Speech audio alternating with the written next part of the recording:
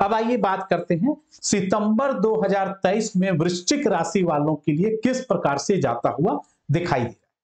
सितंबर का महीना 2023 में वृश्चिक राशि वालों के लिए लाभदायक रहने वाला है। इस माह भी सूर्य दशम में एवं मध्य माह के बाद मंगल के साथ युति करेंगे एकादश भाव।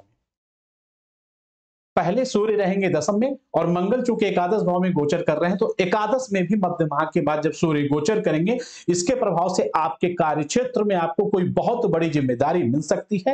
कामकाज में व्यस्तताएँ बनी रहेंगी, लेकिन आपके आय के साधनों में वृद्धि हो सकती है। कोई रुका हुआ कार्य बनने के योग बन रहे हैं। घर परिवार में खुशियों भरा माहौल होगा। कुछ जातकों के घर में तो उनके कुछ शुभ मांगलिक कार्य का आयोजन भी हो सकता है।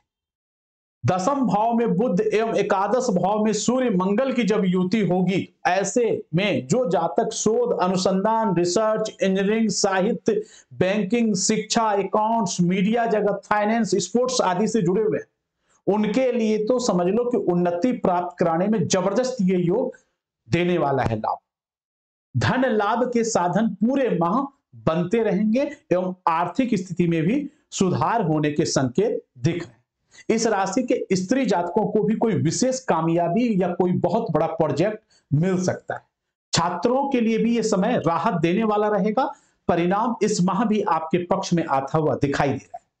लेकिन ध्यान रहे, सूर्य मंगल जब एकादश भाव में होता है तो जो गर्भवती महिलाएँ होती हैं, उनके गर्भपात होने का खतरा बन जाता है। इसलिए गर्भवती महिलाएँ अपने बच्चे का विशेष रूप से ध्यान रखें। खान पीन में आपको विशेष सतर्कता बरतना होगा, अधिक भारी सामान नहीं उठाना है, सीढ़ियों पर चलते समय आपको विशेष रूप से ध्यान देना है। शादीशुदा लोगों की बात करें तो जीवन साथी के साथ संबंध में सुधार एवं भाग्य के सहारे, उनके भाग्य के सहारे भी जीवन साथी के भाग्य के सहारे भी आपको कोई लाभ मिल सकता है, उनके माध्यम से भी कोई सुखद समाचार प्राप्त हो सकता है, आपके जीवन साथी की भी तरक्की हो सकती है क्या कहती है आपकी राशि? जानिए अपनी कुंडली एवं राशियों का पूर्ण विश्लेषण। आचार्य चंदन शांडिल्य जी से।